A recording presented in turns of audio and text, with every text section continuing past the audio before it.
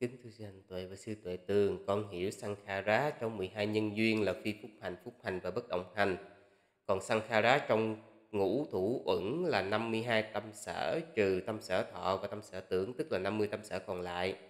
Câu hỏi của con là có mối tương qua mắt xích hay liên hệ giữa hai Sankhara này hay không? Hay chúng chỉ có chung tên gọi Sankhara? À, kính cảm ơn quý sư. Về câu hỏi này xin mời à, Đại Đức à, Tuệ Tường sẽ trả lời. À, kính thưa Đức Thanh Tuệ, kính thưa quý vị. Thì, à, trong cái câu hỏi này nó có một cái lỗi thưa vị, nó có một cái lỗi lỗi uh, ngay ban đầu của câu hỏi. À, ở đây là sư sư nói thật nha, không phải bắt lỗi quý vị nhưng mà nếu mà giờ sư không có nói cái cái cái lỗi này ra thì cái vấn đề nó nó sẽ không giải quyết. Thứ nhất là cái câu hỏi này nó sẽ nó sẽ nó loạn lên nó loạn lên nó không giải quyết được cái gì chứ tại vì vấn vấn đề ban đầu quý vị đã bị nhầm lẫn rồi đúng không? Thì nhầm lẫn cái gì? Nhầm lẫn là cái này thưa quý vị. Cái gọi là thủ uẩn. Hay là ngũ thủ uẩn á mà quý vị tính ở đây là 52 tâm sở á. Không? Mà trừ uh, thọ với tưởng ra còn 50 tâm sở còn lại là cái vấn đề này là quý vị đã tính sai thưa quý vị. Vấn đề tính sai. Nếu mà ở đây quý vị bỏ cái cái từ cái từ thủ ở đây á gọi là ngũ uẩn nha. Ngũ uẩn á. Ngũ uẩn thôi nhưng mà nếu nó đúng là hành á. Hành nó trong ngũ uẩn nè là sankhara sankhara nè hành ở trong ngũ hành ở trong ngũ uẩn. Không có chữ thủ đây nha. Thì đúng là hành đó, đó là bao gồm là 50 tâm sở 50 tâm sở. Nghe còn lại trừ ra thọ và tưởng. Cho nên đó ờ, ờ, vì bây giờ chúng ta sẽ đặt câu hỏi là ủa vậy giờ sư nói là là là ngũ uẩn hành trong ngũ uẩn là 50 tâm sở. Vậy vì sư nói sai sai sai là sai thế nào? Xin thưa quý vị khi mà nhắc đến gọi là thủ uẩn á gọi là thủ uẩn nha hay là ngũ thủ uẩn á.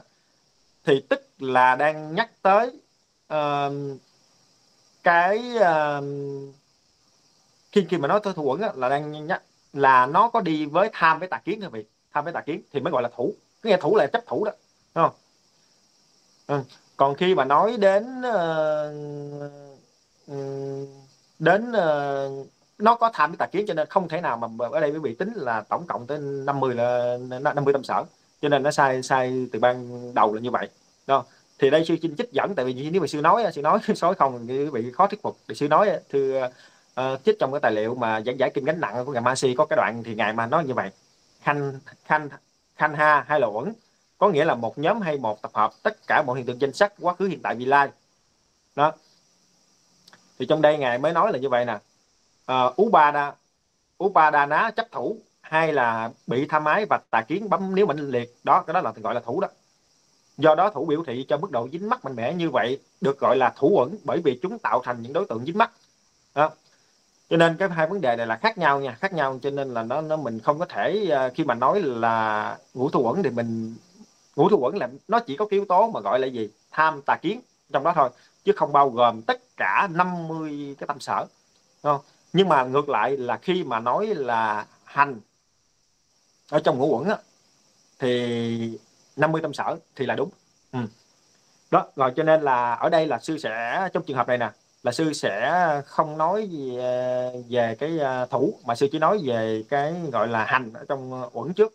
Cái hành trong ờ, hành uẩn á, và cái hành ở trong uh, nhân duyên á nó giống nhau nó khác nhau gì?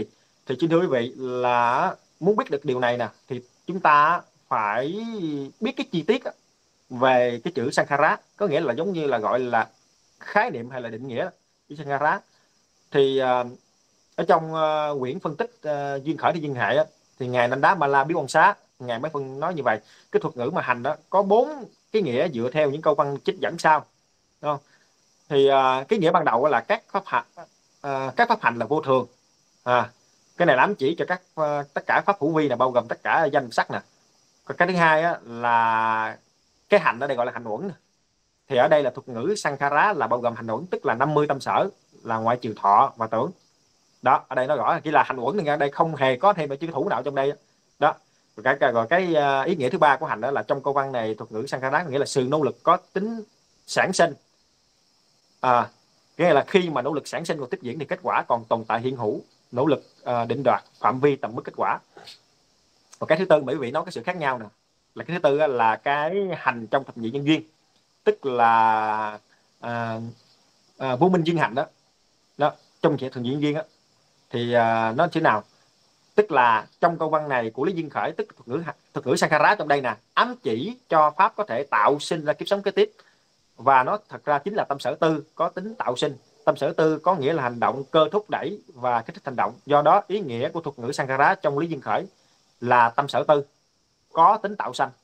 Đó có nghĩa là ở trong ờ, cái thuật ngữ hành mà ở trong thành diễn duyên á thì nó chỉ mang là cái ờ, nói về cái ừ, tâm sở tư và có tính tạo sanh. Bởi vậy nó mới nhắc đến là gì? À, tái sanh ở cái nghe làm những cái việc. Nó đúng hơn là không phải tái sanh mà làm những cái việc. Cái nghe chủ ý tư đây là chủ ý làm cái những việc là gì?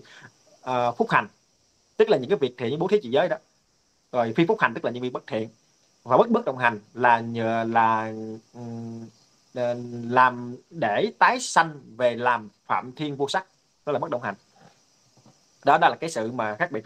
Còn quý vị muốn quý vị muốn biết thủ muốn biết mà thủ quẩn như thế nào thủ quẩn cụ thể thế nào thì quý vị thủ quẩn này nó lại liên quan đến trong hiện viên nó liên quan đến cái phần mà gọi là là uh, vô, ừ, ái viên thủ. Là trong đó cái phần thủ đó là nó bao gồm bốn cái thủ thưa vị. Có nghĩa là dục thủ à, dục thủ kiến thủ giới cấm thủ và uh, ngã luận thủ đó thì uh, muốn biết thêm cái ờ, thủ này là nó như thế nào quý vị phải uh, tìm hiểu đó. ở đây thì uh, suy nghĩ đến đây đến đây thì, thì, uh, chắc quý vị cũng đã đã hiểu như thế nào đó. nhưng mà căn bản á, là trước khi kết thúc câu trả lời này á, sư muốn nói rõ lại là um, khi mà đã nói 52 tính tính là 50 tâm sở thì đó chỉ là hành uẩn thôi nha còn cái thủ uẩn thủ uẩn á là nó cái thủ quẩn đó là nó đi ờ, cái hành của thủ, thủ quẩn đó là nó đi với vô minh nó đi với vô, minh và tà kiến và nó bao gồm bốn cái loại thủ. Đó như vậy.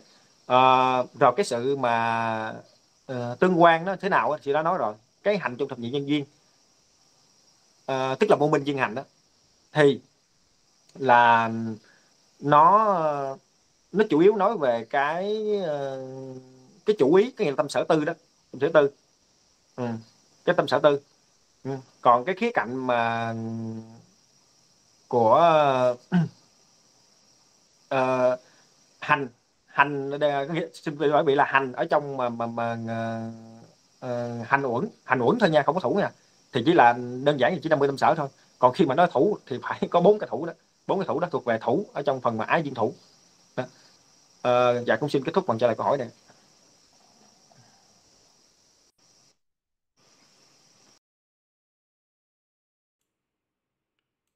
Và câu ờ, trả lời của đại đức tuệ tường đã trả lời đầy đủ về ờ, khái niệm về sankhara và nếu như quý vị nghe chưa có rõ thì có thể nghe đi nghe lại để nắm rõ về khái niệm này. Thậm chí quý vị có thể ghi ra giấy để à, chúng ta không bị à, nhầm lẫn ha? Dạ. Dạ dạ dạ.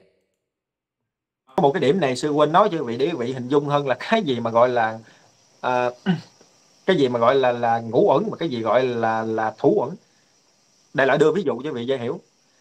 Là bây giờ chúng ta đặt câu hỏi là là vị a la hán còn ngũ ẩn không? Vị la hán mà chưa nhập vô dương niết bàn có nghĩa là hữu dương niết bàn còn ngũ quẩn không? Xin thưa quý vị còn ngũ quẩn nhưng mà nói về thủ quẩn là không còn nha. Tại vì thủ quẩn là gì? Là nó nó có vô minh. Nó xin lỗi là nó có tham tham với tà kiến. Đặc biệt là tham thưa quý vị. Đó. Cho nên là chúng ta phải hiểu được là cái sự khác biệt giữa cái ờ, ngũ quẩn và thủ quẩn như thế nào. Thì chúng ta mới giải quyết được chúng ta mới so sánh được là uh, cái uh, uh, giữa cái hành Thấy không? Giữa cái hành ờ, ở trong uh, ngũ quẩn hay là, là thủ quẩn hay là cái hành ở trong cái uh, thập viên là một minh viên hành đó chính là uh, minh viên hành một lần nữa sẽ nhắc lại nha. Nó cái uh, cái hành mà trong vô minh đó vô minh vô minh mà duyên hành ở trong thập nhiên viên á một xin nhắc lại một lần nữa. Đó, đó là tâm sở tư tức là cái sự cố ý là có tính tạo sinh nó như vậy thôi. Cứ bởi vì có tính tạo sinh cho nên nó nó, nó trong đó mới mới nói về cái ờ, những cái hành động mà nó phúc hành. Khi phúc hành là bất động hành. Không? còn cái kia là là còn cái thủ quẩn là nói về bốn cái kia bốn cái cái cái cái bốn cái, cái chấp thủ. Và cái quẩn cái quẩn không cái ngũ quẩn không thì chỉ đơn thuần là liệt kê về uh, uh, 50 tâm sở đó 50 tâm 50 50 tâm sở, ngoại trừ thọ và tưởng đó, như vậy thôi. Xin kết thúc câu trả lời này